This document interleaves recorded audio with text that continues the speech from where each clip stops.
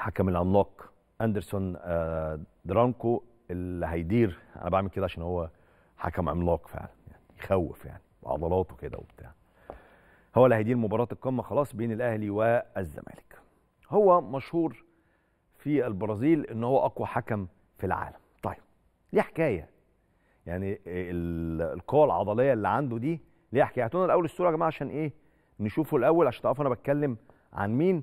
هو حكم عملاق يعني. أو أحكي لكم القصة من أولها يعني. أحكي لكم القصة من أولها. بص الحكم ده وهو صغير عنده 10 سنين أنا هعرفكم ليه كرة اليد ظهرت دلوقتي. وهو عنده 10 سنين كان بيلعب كرة يد.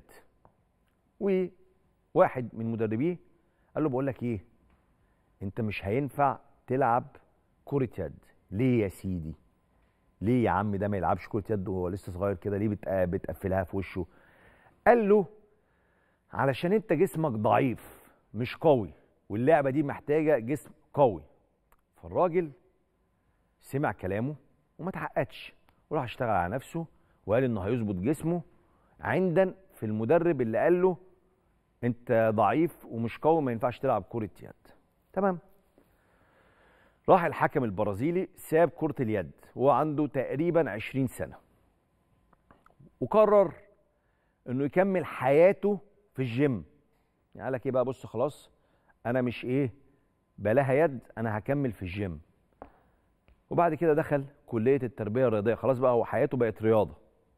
وقال لك أنا هبقى مدرب عندن في المدرب بتاع كرة اليد اللي قال لي أنت مش هينفع تلعب كرة يد عشان أنت جسمك ضعيف. وقضى فترة طويلة من حياته قاعد في الجيم. من 2009 قرر إن هو يشتغل في التحكيم. وناس كتيرة حذرته إنه العضلات اللي عنده دي كلها يعني مش هتخليه حكم جامد وسريع ونشيط والكلام ده كله. وقالوا له إن الجسم ده هينهي مشوارك التحكيمي بسرعة لكنه على العكس تماما أبدى وأدى أداء رائع جدا في المباريات اللي ادارها في البرازيل ورغم تفوقه قال في تصريحات إنه بيكره عضلاته لأن الناس بتقيمه إنه حكم قوي بعضلاته مش بقوة شخصيته. فهو الناس لما بتقول له أنت حكم قوي جدا في الملعب هم عشان شايفينه قوي جسمانيا مش عشان هو قوي في قراراته. دي حكاية. درانكو الحكم البرازيلي عنده صفة إنه عنيد جدا في أرض الملعب. يعني ما ينفعش تروح تجادل وتهزر معاه كده وتعترض عليه كتير. وسهل جدا يشتبك مع أي لاعب في الملعب يشتبك لفظيا يعني. الحكم ده كان بيحكم مباراة بين أتلتيكو مينيرو وساو باولو في البرازيل. وهالك لاعب شهير طبعا في البرازيل وبيلعب في أتلتيكو مينيرو اعترض على درانكو الحكم. طيب الحكم بقى يسكت قال له لا تعالى لي خد بالك عشان ده مش الماتش الأخير اللي هحكمه لك. فهالك قال له هو أنت بتهددني؟ زي ما أنت شايف السؤال هو أنت بتهددني؟ راح قال له لا يا حبيبي أنا ما بهددكش أنا بس بقول لك اللي هيحصل.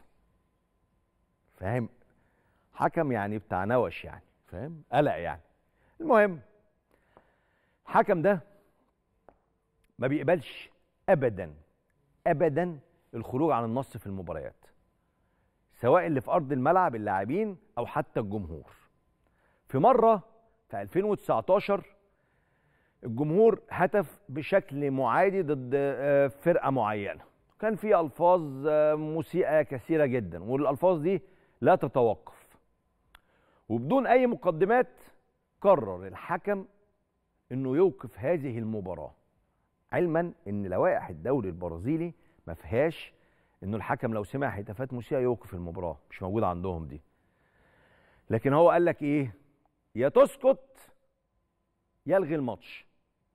هتسكت هكمل الماتش. بالفعل قعد 20 دقيقة في أرض الملعب 20 دقيقة موقف الماتش. هتسكتوا هكمل مش هتسكتوا مفيش فالجمهور اضطر يسكت. حكم قوي الشخصية جدا على كل المنظومة في الملعب. سواء على مستوى الجماهير أو على مستوى اللاعبين في أرض الملعب. ودي بس الحكاية اللي لعيبة النادي الأهلي والزمالك يفهموها. ما بيهزرش. آه الجسم العملاق ده ما بيضربش يعني مش هي مش هيعمل أي احتكاكات آه بالإيد يعني. بس ما تهزرش معاه بالكلام عشان مش هيسكت لك مش هيعدي لك مش هيفوت لك. فالحاجات اللي هي كل شوية آه وإيه والكلام دوت لأ ما برازيلي برازيلي واسمر هو مش اسمر بس برازيلي. فخطر وتاخد بالك منه وأنت بتلعب في المباراة عشان ما يبقاش فيه كروت إن شاء الله يعني.